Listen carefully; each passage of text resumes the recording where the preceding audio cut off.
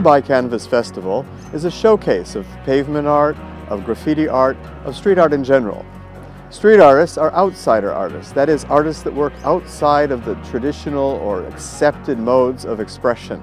They're fiercely independent and they have, they're very individualistic and have a lot of things to say. What is 3D art? Uh, well, the way we practice it, it's an optical illusion that is um, taking a two-dimensional flat space and making it appear that it's three-dimensional when it's viewed through a camera lens. It's really magical because when you get to the point of viewing, it's revealed, the illusion is revealed, so you have this aha moment. So people can get into the scene and ride on the back of the swans and look like they're part of the party. This art is called anamorphic, that's the technical term of it, but uh, people call it 3D art because it uh, sounds better. This one behind me is uh, augmented reality combined with 3D uh, art. You can see a 3D animation appear when you look through your screen on your tablet or iPhone or smartphone. It belongs to the environment. So it, it, it's not it's not for the artist anymore, but it's for the but it's for the people around, and that's and it makes it a quite quite nice kind of art form. It's really exciting. I've taken a walk up and down the street and there's some just awesome work. So the artwork I'm installing here, the balloon dog, is a little bit after Jeff Koons' balloon dog, famous balloon dog, but mine I've called the fragility of dreams because my balloon dog has a little pin the child in us. I mean, that's one really amazing thing that I love about the 3D work that we do, is it invites even adults to play in the street. I mean, there's nothing else in the world that makes people genuinely play. It brings out the child in every one of us. It's really nice for me. Uh, I'm really very excited to stay here in Dubai. It's my first time here. I hope uh, to do uh, good work. It's a good experience. Uh, it's amazing for me. Our artwork is all made out of masking tape. Uh, we're tape artists, so what we do is we draw with masking tape. Our work is quite temporary, so we put it up and often we take it down after a day. They're going to stumble across the art in the street, so it's education brought to you and it just means that you've got this dynamic energy in the city and you also it's a way of energizing a place so it becomes full of personality. It's fantastic that there is not only the art going on but there's so many workshops there's activities so it's getting people involved in a whole variety of different ways of experiencing art. It's fantastic. I'm Julie Kirk Purcell and we're working on a community project today um, we'll be working on it for the next few days and basically we've got a bunch of artists from Dubai and just kind of all different walks of life that are coming together to create this large 20 meter by 3 meter long 3D street painting of a canyon. I think I think also especially what uh, what Julie did with his uh, with his little children uh, getting um, getting some kind of hope for their for, for, these for these little ones uh, in, in being uh, um, creative as, as possible and then uh, if they if they grow up uh, then they have their dream of being an artist themselves and, and that it is possible. And we've been working for six days on this. Um, they've learned a lot. I think it's been a really great process for them and I think the best part about it is that it's really um, we've really built some great bonds this week. I've had a really good time with all of them. I'm uh, Max Zorn. I'm from Amsterdam, the Netherlands, and I'm a tape artist. So tape art is obviously art made with packing tape. And the beautiful part of it is that when you combine it with light, it sort of shows the translucent characteristics. And um, that entitles me to sort of use layers over layers and change the shade of that sepia tone the tape comes with. And I love this interactive part um, to just show not only the result of an artwork, but like show the process of, of an artwork being created. And I think that's something that's lost most of the time when you are in a museum or in a gallery. I feel this is a beautiful way to yeah, transport like the, the excitement artists have like and pass it on to the, to the audience and let them participate in it.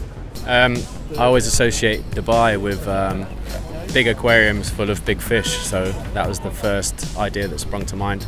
It's basically, I taught myself how to use a spray can, so I started off with simple balloon animals to try and make them look 3D and it worked quite well. So that my, my balloons have just got more technical over time. Eh, é, meu nome é Eduardo Kobra, é, eu sou do Brasil.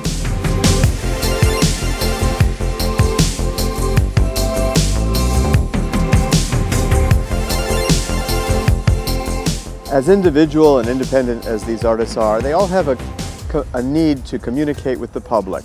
They all have something that they want to say and they don't want to be locked into a gallery or wait two years to have a show. They want the people in the street to see what they have to say. They want the people in the street to see their images.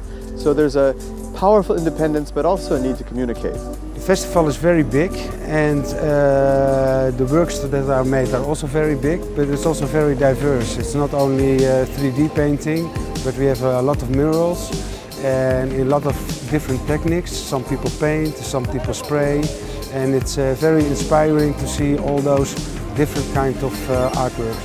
I'm working uh, on the Darth uh, painting. It's going to be anamorphic painting. Uh, people can pose on the Darth, so they have to lie down on the floor and it looks like you are standing on the Darth. My Name is Gregor Wosik aus Deutschland.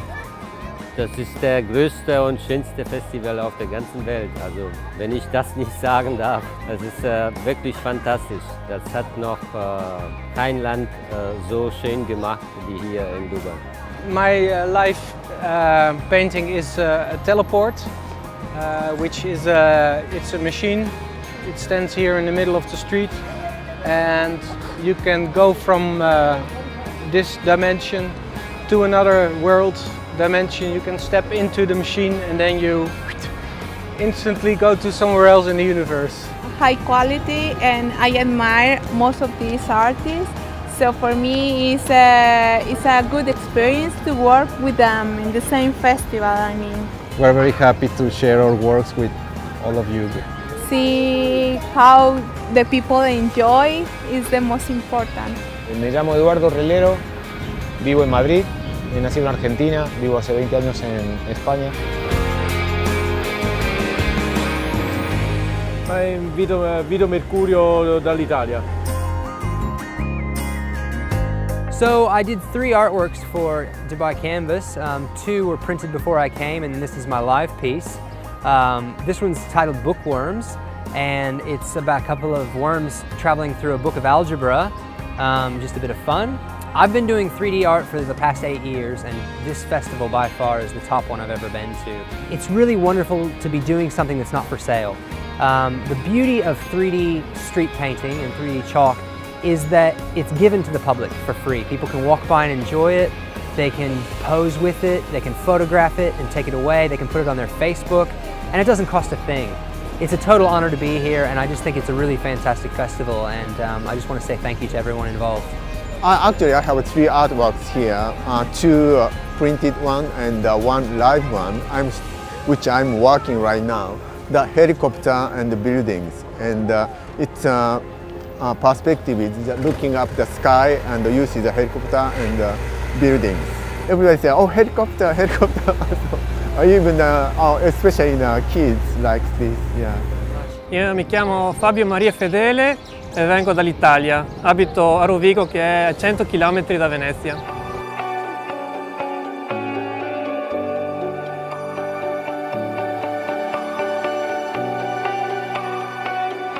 It just goes to show that this man is thinking ahead of his time, in my opinion. His yeah. name is Neil Harbisson. He's an avant garde artist and a cyborg, apparently, for the last 10 years. He's in the studio. Good morning, yeah. Neil. Thank you. You have an antenna attached to the top of your head. Explain why you've done this. Well, it's implanted. It's not attached. It's inside my skull, so it was surgically implanted, and it allows me to hear the sound of color. So oh. color has light frequencies, and this chip inside my head allows me to hear the sound of the colors around me. Here in, in Dubai, the aim is to create uh, art projects based on the sound of color and the color of sound. This is how I hear different uh, elements now. So now I can compose music by looking at colors instead of playing an instrument. I can actually have different colors in front of me, amplify the sounds in my head, and create color concerts. So I send the colors that I heard through the antenna to Dr. Tosh so that he could create a composition, um, electronic piece with the, the notes of the colors of Dubai. That's right. So the melodic content comes from the sounds that Neil provided from his antenna. Yeah. And he collected those sounds um, in Dubai. So okay, have we got the song there? Should we play a little bit of the song real yes, quick? This we is, do. This is the song of Dubai, of Dubai Colours. Have a listen to this.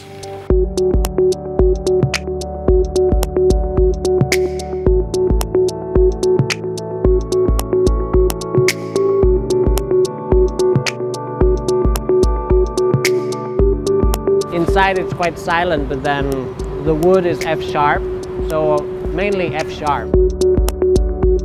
Giraffes are also between like G and F sharp, similar to the, the, the buildings actually. Yeah, this is A, this is a very different note. Today I met the sheikh and uh, I had the antenna pointing at his face so I could listen to the colors and he sounded quite um, golden actually. So I don't know if it was the, but I could hear F sharps, shades of F sharp and also a bit of yellow. I'm also collaborating with a choir from Raffles School and they are learning to sing colors. So we'll present a color concert uh, where the audience will be seeing the colors that the children will be singing.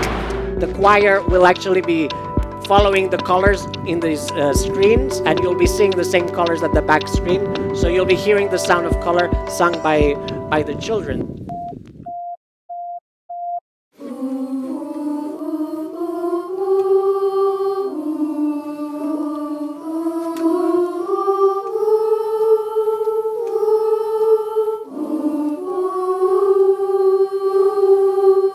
Been great to be here. It's been a great experience to, to be able to sense the colors of Dubai and uh, then also collaborate with people from Dubai in order to express the sound of colors of their city.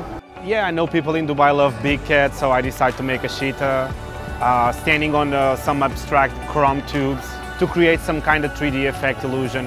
Yeah, it's my third time here. It's always cool to come here, especially on the winter because on my country it's cold right now.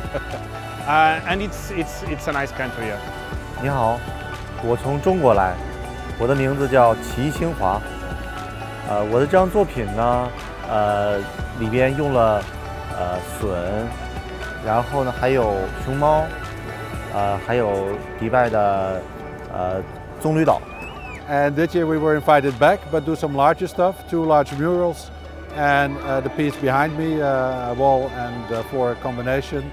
Well, I think so far so good. Uh, there's been a good uh, turn up, lots of people, lots of interactive interactivity. Uh, people ask us questions, of course, and impression so far is really good. My name is Filipenko and I'm from Russia, Moscow. I paint here two cute kittens playing with a balloon shaped like a star, silver star. Uh, this place is like a paradise and uh, uh, we'd like to stay here more. That's what I've found so wonderful about being here is that it's just this really joyous celebration of street art.